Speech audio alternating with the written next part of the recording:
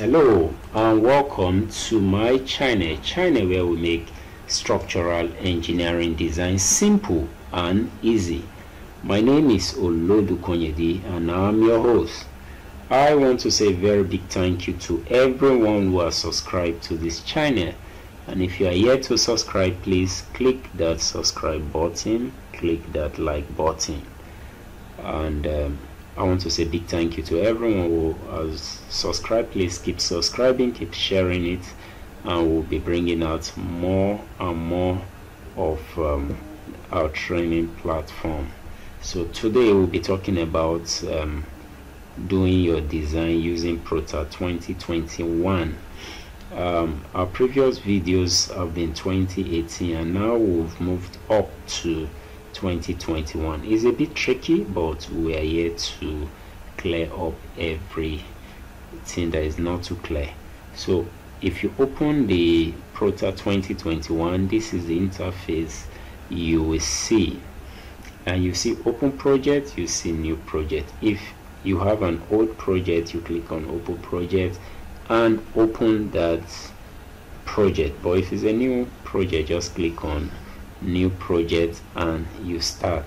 So we click on new project give it time you name it let's name it test.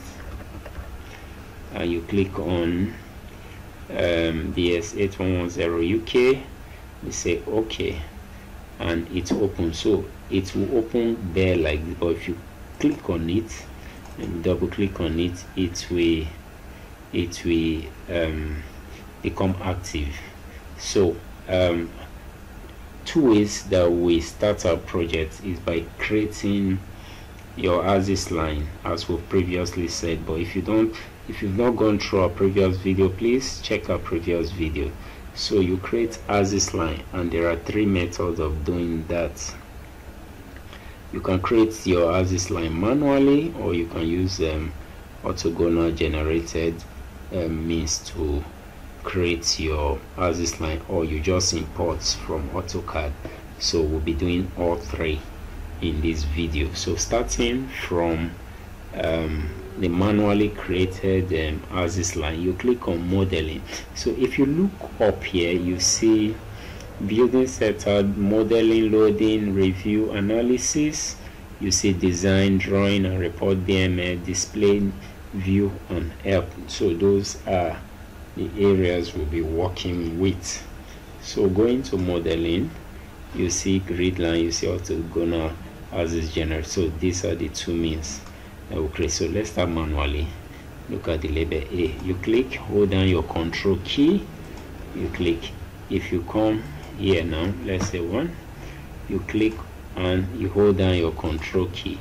We've created um, our axis line. So if you want to offset right click you see offset and click on shift and F2 with that you have your your means to edit your lines. You can edit your lines anyhow you want.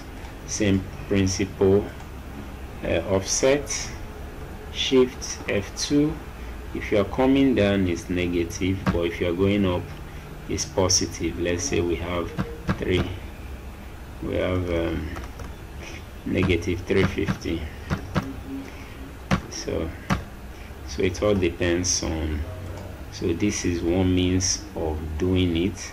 The second means is by clicking on your orthogonal axis generator. Click on it you see all this. If it's okay by you you say okay. So it automatically generates this. So this uh the means by how we create our axis lines.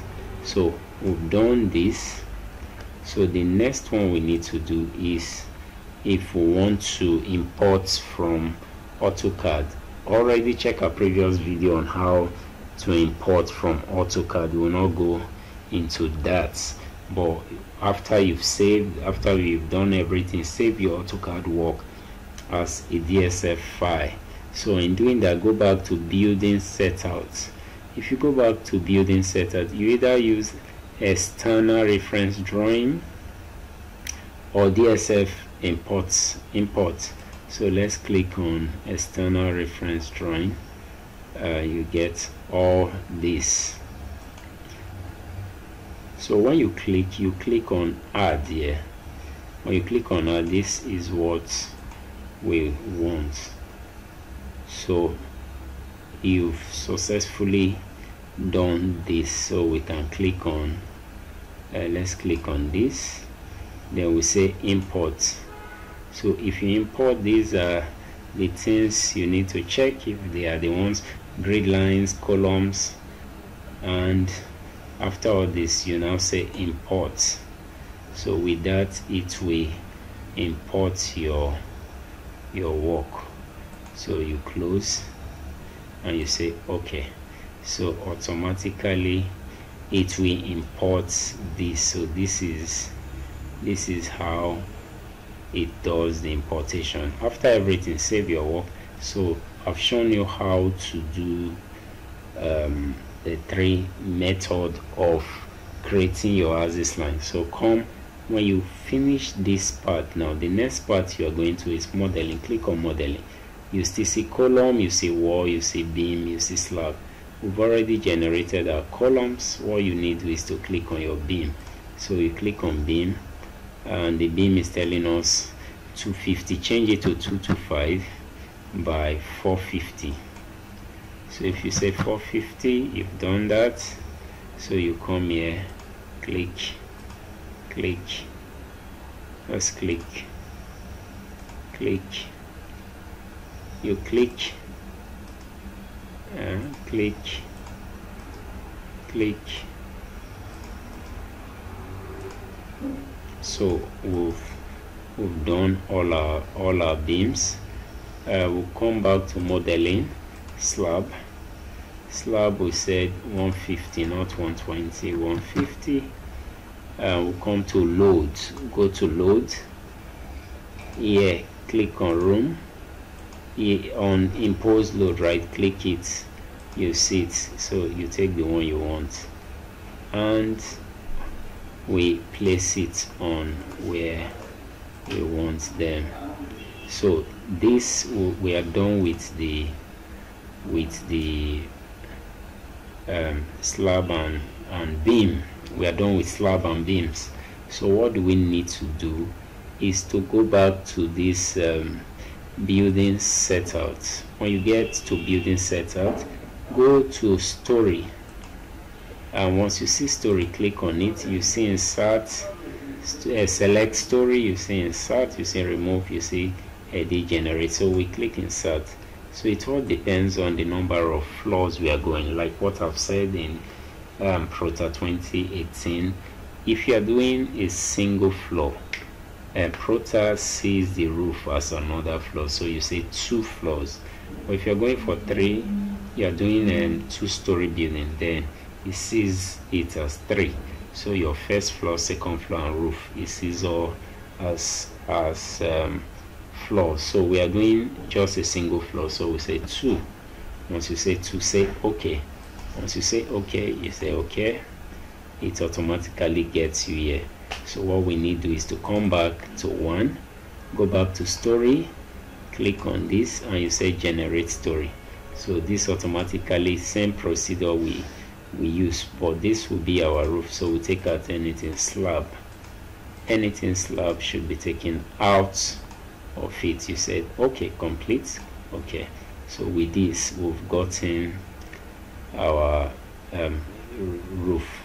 But already our roof beam is 300 and depth. So we can come to beam instead of we changing it one after the other. Click on the first hold shift and the last right click. Then you edit edit the um, the section edit section. Where is it edit section. So if you do that you just come here and change it to 300 change it to 300 and you say okay. Automatically it changes all to 300 changes all to 300 good. So what we need to do next is to right click edit wall load. Uh, already we are having one for the roof height one height one and these two points point two three. We say okay. Same procedure right click copy wall loads then we paste it on all. This is the second floor. We say paste it on all. We paste copy wall load on it. We say yes that is it. So we are done. Go back to story one. Same procedure we use. Right click let's let's let's click. Edit wall uh, for the floors we are using 3 3.47 our height is 2 2.7 2.7 uh, wall to 3.23 we say okay. Same procedure copy. Copy wall load and we paste it on it. Paste. Mm, we paste copy wall load. We say yes. And we are done. After this two ways that you can do you can come to view click on view and we click on um, we click on this. Let's say we do two ways then we create we click on this. So this is how you are looking at your work. So you can see both structure as you are as you are designing. So let's proceed. After we've done this what do we need to do? Um, after loading um, we come to analysis. Analysis. We on um, this Prota 2021 uh, load decomposition was taken out and infused with um, FE floor analysis so you won't see load decomposition here. So click if you click on building analysis click on load combination uh, we say load loading generator you say okay. When you click you say okay to generate the load. You say okay. Come to edit material. On edit material we go to uh, column how I do I check and I check so that they are all out of it. 16 I click 16 I click 20 okay?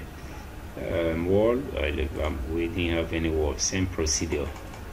We do that and we click on 16 and 20 okay we do slab slab is uh, 12 we do 12 for slab.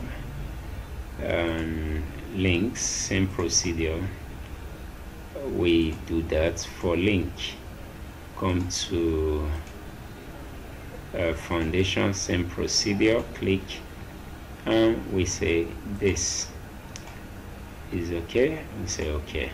So we are done with this. So after we are done with this go to fe floor.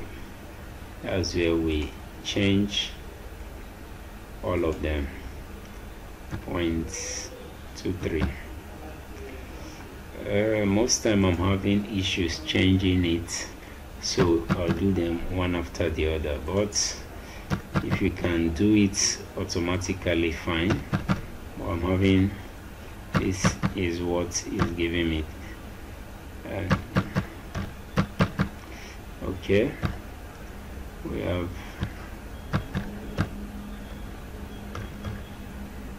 okay.